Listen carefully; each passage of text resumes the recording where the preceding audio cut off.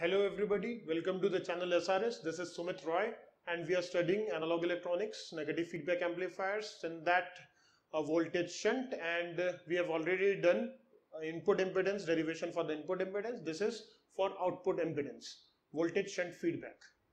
So I've already drawn the diagram as uh, in the earlier uh, episode.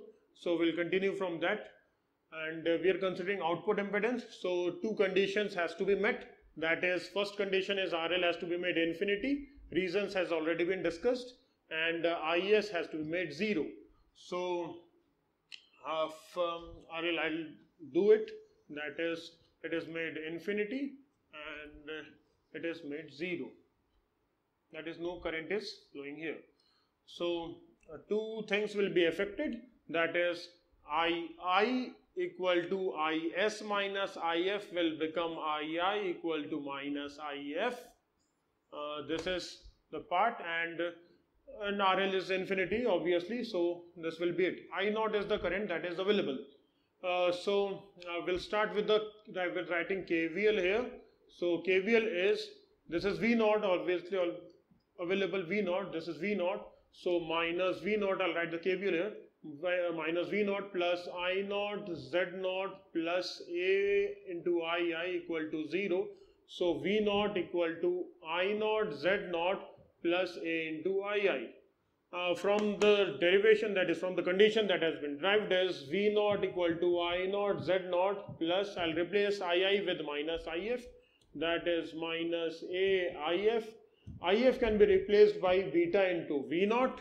So V naught equal to I naught, Z naught and uh, uh, minus A, IF can be written as beta V naught, so beta V naught and uh, thus further derivation will give us 1 plus A beta equal to I naught into Z naught and ultimately V naught upon I naught is equal to Z naught upon 1 plus A beta and that is nothing but ZOF.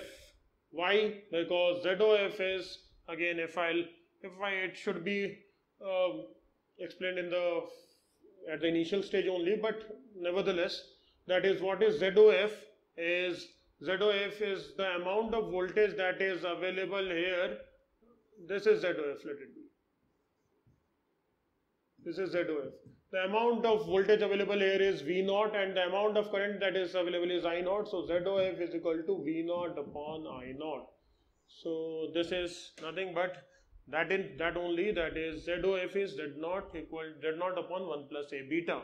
So thus we come to the conclusion that is ZIF is ZI upon ZI upon 1 plus A beta and ZOF is also equal to Z naught upon 1 plus A beta. That is both the input and the output impedances are decreasing and it has been divided by a factor that is greater than 1 for voltage shunt. So we'll deal with current series in the next episode. Till then, goodbye and consider subscribing. This will help the channel to grow. Thank you.